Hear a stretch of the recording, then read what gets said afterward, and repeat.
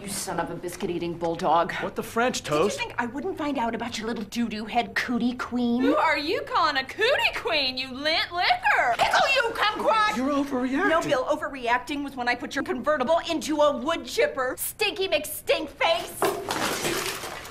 You Hoboken. Fabulous. New Orbit Raspberry Mint cleans another dirty mouth. For a good clean feeling, no matter what.